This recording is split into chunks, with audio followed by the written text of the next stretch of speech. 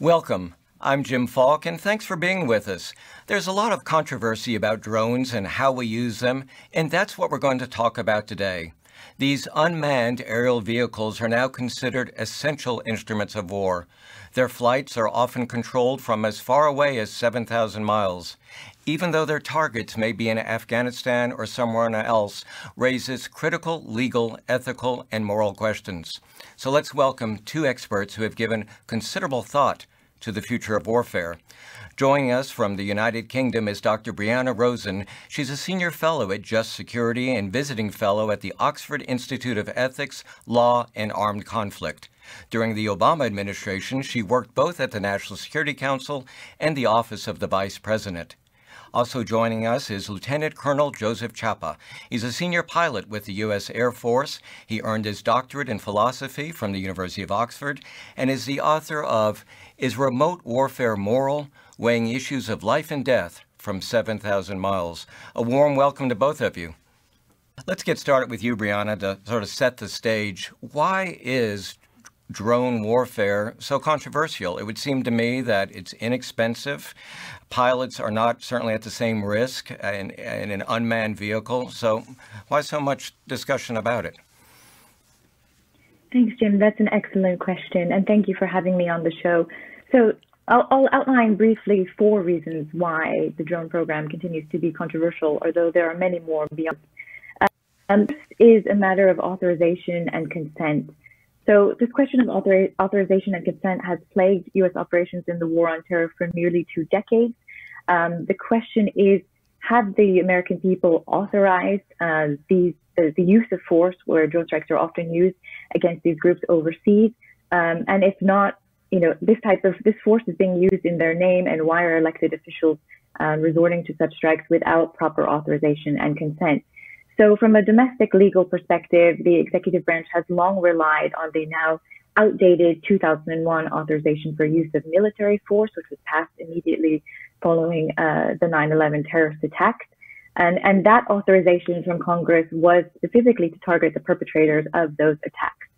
But what we've seen in the past two decades is that um, the executive branch has interpreted that authority in ever expanding ways um, such that the list of targets, the list of groups that we have been targeting under that authority has expanded significantly beyond Al Qaeda um, and the Taliban. And, and it's, it's including uh, the full list of groups, in fact, is classified under the 2001 AUMF. So this is important and it's problematic because what it means is that you know, Americans that are alive today um, many of them weren't, were, were young um, teenagers at the time of 9/11. They may not even remember the 9/11 attacks, but uh, drone strikes and, and other instances of the use of force are still being carried out against uh, non-state actors overseas under these outdated authorities that remain in place and that may be used to justify the use of force against an expanding list of groups that is classified and which the American people don't have insight into. Um, another key reason why this is controversial concerns the issue of necessity and using force as a last resort, and this idea that we will only use force if there is a, a threat that is temporally imminent. This idea of imminence has really been stretched beyond recognition in the past two decades, where um, a, a, threat no longer has to be immediately imminent in order for us to resort to force and self-defense. Um, and so what it seems like increasingly is that you know, the administration, uh, and this is a problem for all U.S. administrations, Republican and Democratic alike, um, since 9/11. Um, it seems that in many ways, killing has become almost a policy of first resort.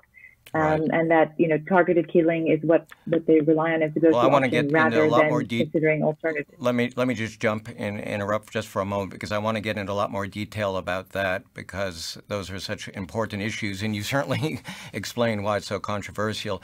Joe, I found in your book very helpful just to get sort of a foundation on what drones are. We all have this sort of imagination of, of what we see every so often on television, or our kids are flying drones. How many people are involved in keeping a, a drone uh, in, in flight? Because in reality, they're not unmanned.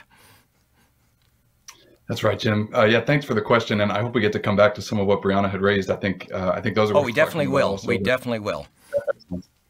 Yeah, so first let me just say, though I am a U.S. Air Force officer, the views I express here are my own, and they don't necessarily reflect the, the DoD or the Department of the Air Force. So when we talk about drones, it's actually it's actually more and more difficult over time to figure out what we mean by that word. And this goes right back to the beginning of the Predator program. Uh, the Predator, the first armed uh, Predator uh, sortie was on uh, on the opening night of the U.S. and Allied war in Afghanistan. So we can trace the history of the armed predator right back to the history of what was sometimes called the global war on terror. So they kind of share a lineage, the predator and uh, and our wars of counterterrorism and counterinsurgency. And even then, that use of the word drone was controversial within the remotely piloted aircraft community because it seemed to suggest that there was something autonomous about these systems. When people hear the word drone, they might think that there's no pilot involved at all, when in fact, as you say, there are several people involved. So in the in the book, what I'm really focused on is the Predator and Reaper in the United States, but also in some allied countries. And the Predator and Reaper are by no means autonomous. They have a qualified crew flown by a pilot and a sensor operator. The pilot sits in the left seat and has command authority for the entire sortie, the airplane, and everything on it. And then the sensor operator sits in the right seat. That's typically an enlisted crew member, uh, air crew member, and that person is responsible for the sensor ball and all of the all of the lasers and cameras on that sensor ball. So one way to think about that is that this crew of two manages the manages the sortie. Um, the pilot's responsible for everything, and when it comes to releasing a weapon, the sensor operator is actually the one that that manages that laser that guides the missile to the target. So both crucial crew members. But now think about how many crew members you would need to to staff a squadron. These airplanes stay aloft for roughly 22 hours on end. So let's just let's just uh, let's just assume that's 24 because it makes the math easier. In a 24-hour sortie, even if I have those crew members fly eight-hour shifts, which is a long time to be able to sort of stay in, engaged and, and pay attention for eight full hours, I still need now six crew members to make up that one 24-hour sortie because I need three eight-hour shifts, and that assumes no vacations, no weekends, no no sending people off to their professional military education. So that number really starts to add up. And so what we found in the community over the time is that to get to a sustainable uh, a sustainable pace, we need about 10 pilots and 10 sensor operators, as well as the intelligence analysts that come along with that for every one 24-hour sortie. That's a lot. Um, so if we uh, have a squadron that has um, that has five airplanes airborne at any given time. We're looking at roughly 50 of each crew member. That's a 100 to 150 person squadron just to fly those five airplanes. So it's by no means unmanned. There's a lot of humanity that goes into it. And I haven't even said anything about uh, the maintenance. I mentioned intelligence, but that's a big part of it. By the time you look at the entire apparatus, it's, it's hundreds of people uh, that go into making that one, that one airplane airborne at any given time. Tell us a little bit more about the chain of command, because I, I, suspect many of our viewers saw a movie that came out a few years ago with Helen Mirren, Eye of the Sky, and it certainly was suspenseful, but that's not really, is it, how the chain of command might be followed here in the United States? That's right. I think that the, one of the things that made that film interesting was the interplay between the different countries. So I'm going to focus just on the United States to make it a little bit simpler. But in the United States, uh, ever since the reorganization under Goldwater Nichols, we have unified combatant commands. So, United States Central Command, for instance, is a geographically defined joint command, meaning all the services participate in that command. And so the command chain doesn't go through services like the Air Force or the Navy, but it does go through components like the air component or the land component. And so if I'm an airman flying an Air Force airplane in, uh, in a combat operation, my command chain goes up from my airplane to my deployed, that is expeditionary squadron commander, to the expeditionary group, to the expeditionary wing, to the joint or combined forces air component commander, which in CENTCOM is a three star. And that's all the air power chain of command. It doesn't cross into the joint world until we get to the four star level and that, that uh, unified combatant command commander. Well, now that same chain of command is happening on the land component side. So if I'm supporting an Army soldier on the ground, let's say a ground force commander who might be an Army captain, he or she also has their chain of command that's going to go through their battalion and their brigade, et cetera, up to the land force component commander, who's a three star. Now, what that means is that when we get to the bottom of that command chain, I am an airman, I have my boss. The ground force commander is a, is a soldier, he or she has their boss. And so there's not really a hierarchical relationship between the, the pilot in command and the ground force commander. Instead, they're more like a team that have to come to an agreed uh, agreed upon decision to release a weapon. So you could think of it as kind of you know two uh, missileers in a in a nuclear missile silo where both of them have to turn the keys in order to release a weapon. It's kind of like that. The ground force commander has to say, "I consent to have a weapon released on my uh, on my territory that I'm responsible for," and the pilot has to say, "I am willing to release this weapon." So it's really a team effort. And I think the most important part about that relationship is that the ground force commander can't give me orders. And what that means is, if I get a, a request for a weapon that I think is uh, is not morally justified, even if it might be justifiable under the law, then I'm permitted to say, you know what, this doesn't feel right. I'm not going to squeeze the trigger. And by doing that, I'm not putting myself in uh, in uniform code of military justice territory where I might be disobeying a lawful order because that person can't give me an order. That order would have to come from my squadron commander. So I tell some stories in the book about times where there was tension between the ground force commander asking for a weapon and a predator or reaper pilot saying, you know, this doesn't feel right. I'm, I'm not comfortable releasing this weapon. And then it sort of gets elevated up that air component chain of command that I mentioned. And I think that's a feature rather than a bug of our of our military system that we get two commanders that both have to agree to release that weapon in a close air support environment. Very interesting. Brianna, you touched on this, but recently, I guess it was late last fall, uh, there was a new presidential policy memorandum uh, issued by the Biden White House, which was classified, but a lot of it's been leaked. What was in that policy memorandum regarding the authorization to use force with drones and, and targeted killing? Yeah, I think it's, it's extremely important to get into that. And I would stress that the, so the PPM, which is, is really Biden's drone playbook, but what it is is policy guidance for both for direct action, which includes both drone strikes and um, counterterrorism raids. Uh, what I would stress is that it's not a sea change in U.S. policy. Um, there are some differences between the Obama and the Trump era guidance, which I can get into later, but um, it doesn't represent really significant progress in terms of um, ending the forever war, as it's often referred to, the global armed conflict against terrorist groups. Um, and but I want to just briefly go back to, to a question that you asked in the beginning, Jim, because I think it's important to stress for your viewers that it's not the drone program itself that's controversial. This is not fundamentally about the technology, but rather the ways in which it is used. Um, and, and, the ways in which this technology is used raise particular moral, legal, and policy questions that we're discussing here today. Um, and it's not riskless in the way that people commonly assume. What it is, in fact, is you're holding an, another group of people, the people living outside of the United States, um, perpetually at risk in a conflict which really has no end. And so, one of the important moral questions that we have to consider that I hope we can get into on the program today is this issue of the morality of risk transfer or the extent to which it is morally acceptable to put foreign civilians at increased risk in order to decrease the risk to American lives. So I, I just want to push back against what you said at the beginning that this is a riskless form of warfare because in fact the risks are, are but, very high. But isn't that one of the fundamental isn't that one of the fundamental changes we're seeing with the Biden policy where there has to be near certainty of the target and to do everything you can to reduce collateral damage, i.e. civilians being injured or, or killed. Joe? So I, th- I think that's right. I, I want to uh, emphasize the distinction that Brianna's made between the um, the morality of sort of the technology, the crew, the remoteness, and then the morality of, of the the U.S. targeting policy. I think oftentimes when people are critical of U.S. targeting policy, they tend to aim that criticism at the remotely piloted aircraft program, and I think that's a I think that's a category error. So you could imagine, right, anytime someone makes a criticism of, of US targeting policy, the question I would want to ask is, okay, but what if we used an F 16 instead of an MQ 9 Reaper?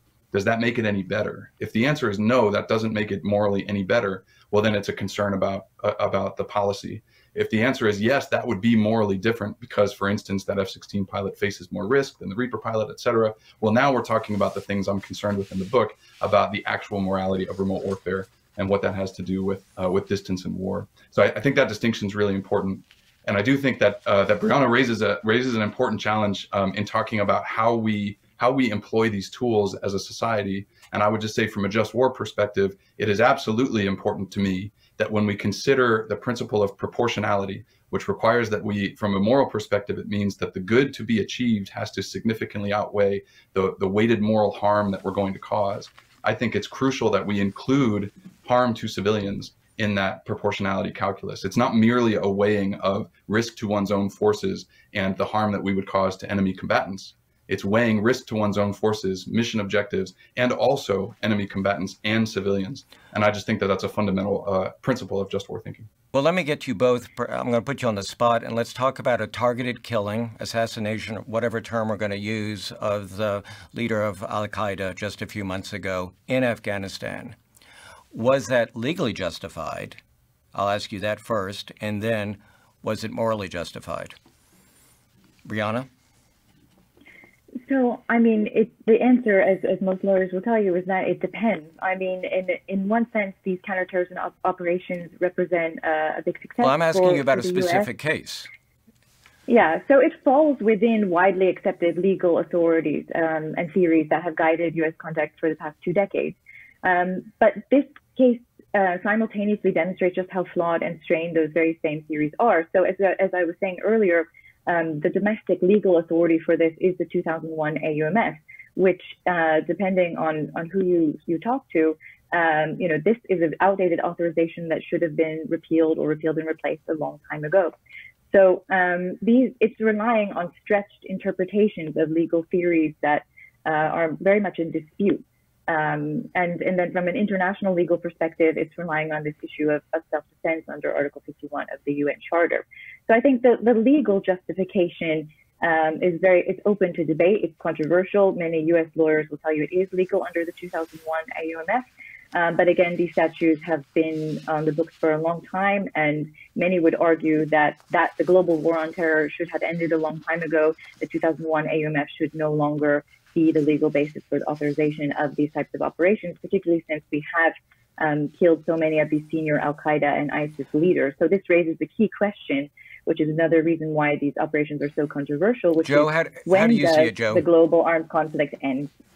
Joe, how do you see Yeah, it? I, I agree with I agree with a lot of what Brianna just said about the, the law. So um, I first want to say I'm not an expert on on U.S. or international law. I come at this from a just war thinking perspective. But I will say that the the challenge is that the AUMF does still stand as the legal justification domestically speaking, and this seems to fit under that that uh, authorization. In fact, lots of criticisms of the AUMF point to the and its affiliates clause, right? So the AUMF justifies the use of force against Al Qaeda and its affiliates.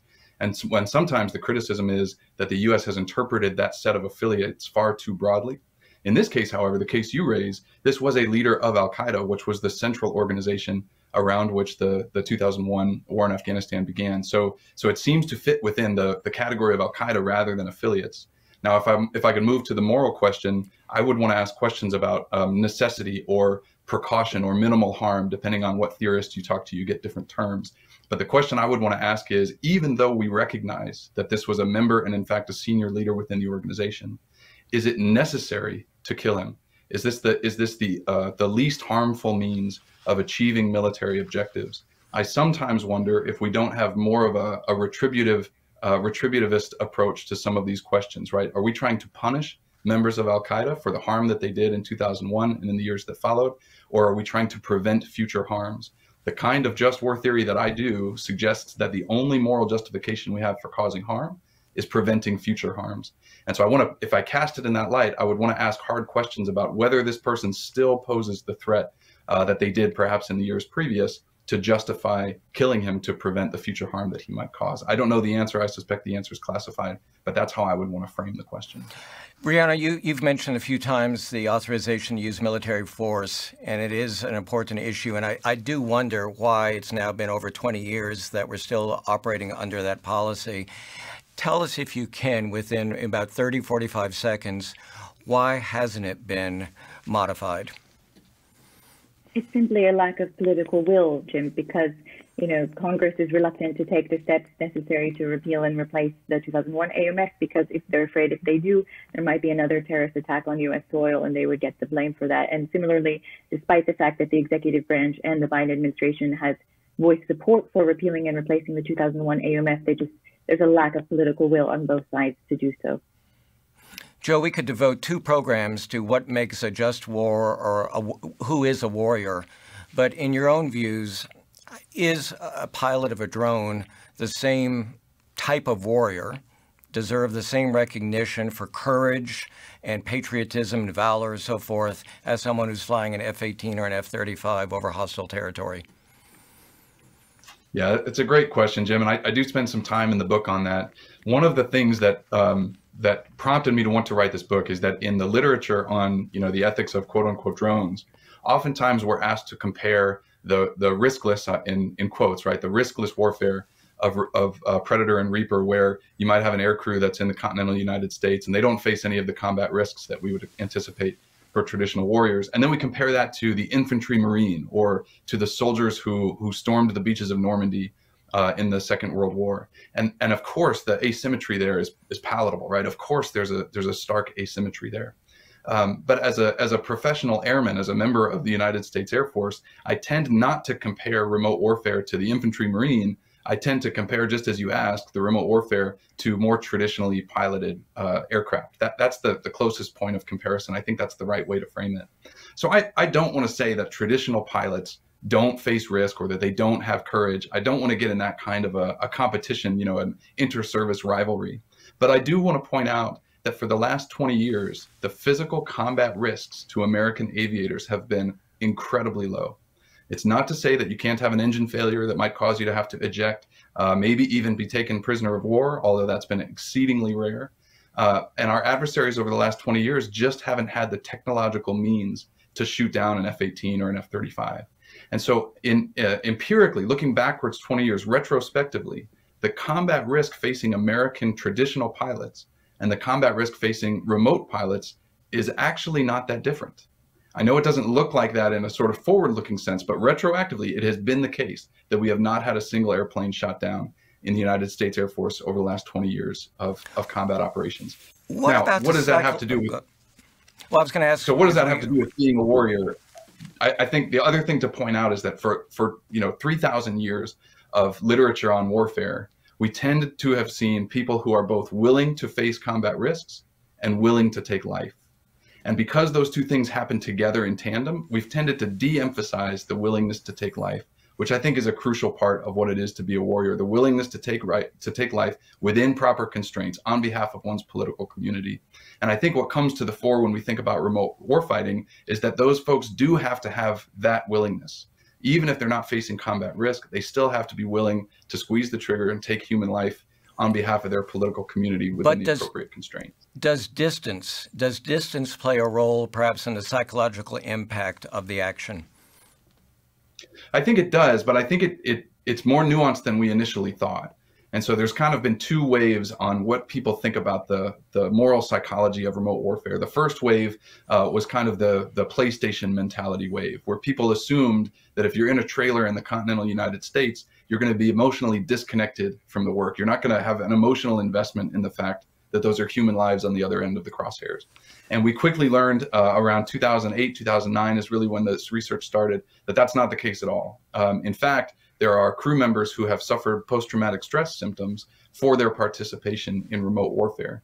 And so the second wave kind of capitalized on those relatively small numbers of post traumatic stress cases and then kind of assumed, well, remote warfare must be so traumatic that everybody suffers from post traumatic stress. And that's not the case either. Uh, so our PTS rates, the rates at which uh, aircrew members on Predator and Reaper would have symptoms of PTS, are the same as they are in other combat aircraft, and it hovers right around four to six percent. So four to six percent of the aircrew have PTS symptoms, and that's the same as you would find in the F-16 community or the gunship community, et cetera. Important so for us to remember is, that. I'm, I'm, unfortunately, the clock keeps ticking so darn fast. Brianna, let me just no ask problem. you this final question because you've you've written a lot about this. Do our political leaders have the will to end the forever war? I don't think so. No, um, and I don't know what it will take to do so. But uh, you know, one of the reasons that these authorities and these legal interpretations stay on the books today is because the executive branch is reluctant to tie its hands to act against these groups. So the question really is, and this is really the most dangerous. We're entering the most dangerous phase of this perpetual war now, where public attention has shifted, and elected officials are no longer even speaking of this tipping point like they used to, where the United States can declare victory on terror and move to an approach that relies more on law enforcement, intelligence, diplomatic, and other instruments of national power to address the residual threat of transnational terrorism. So we're really at a, the United States is really at a crossroads now where its conventional wars in the Middle East have ended. The threat from terrorism has receded, at least for now. And it seems like it's time, if any, there's a time to set aside the war paradigm Um, but the Biden administration simply hasn't done that. The PPM doesn't do that. Um, none of the guidance has coming out or any of the actions that Congress has taken suggest that we will set aside that war paradigm. So what we're looking at now, Good. Brianna, um, I'm going to have Orwellian- to got to cut you off right now. I'm sorry, Joe. 30 seconds for your concluding thoughts. Yeah, I think these are important issues. As you can tell, there's lots more to say. Uh, I, I take very seriously Brianna's comments and the work that she does on this issue, and I just want to I want to emphasize what she's offering here. That uh, if I'm speaking just as a citizen now, if there's anyone that can sort of bring discipline to the foreign policy of our elected officials, it's we, the voters, and I think we should take that obligation seriously. One of my concerns about the literature up to this point, one of the reasons I wrote the book, is that it seems like some people want to put that responsibility at the feet of the RPA crews, the remotely piloted aircraft crews. And I want to defend against that. The crews will go where we tell them to go, and they're going to participate in the military actions we tell them to participate in through our through our uh, system. And I think it's up to us, the voters, to hold our elected officials accountable to that kind that, of discipline. That's good advice. And let me just tell our audience that uh, both of you have lots of information, lots more articles on your respective websites with the book here, as well as, Brianna, your work at, at Oxford. So I encourage our viewers to dig in deeper because sadly we didn't have enough time to go as far as we'd like.